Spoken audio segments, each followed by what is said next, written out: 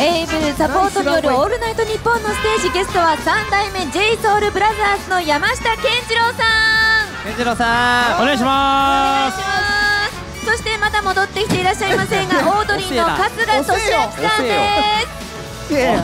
春日さん早く。かっこいいなしかし。ここから見たらシルエット。もう先かっこいいなそれ。進めていきましょうか。ナイスバルク。ナイスバルク。でかいダメでしょえ山下さん話山下さん聞きたかった話聞きたいよだって。本当ですか？あ僕実は高橋さんと仲いいんですよね。あそうなの？そうなんですよ。前飲み会みたいのして。あ本当に？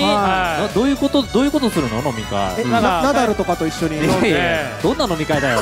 帰りにラーメン食って帰りました。本当にあそんな大学生みたいなことやってるんですねまだ。朝5時に朝5時にラーメン食って帰りましたすいません。あのちはいょっとお時間が限られておりましてすごい足ししちゃった。もうお見送りしなければならないんです。よく目に焼き付けておいてください。もうもうないんですね。もうおしまいです。なんもうないの皆さん目に焼き付けておいてください、はい。三代目 j ソ r o t h e r s の山下健一郎さんそしてオードリー春日さんでした、大きな拍手でお送りください。お送りください。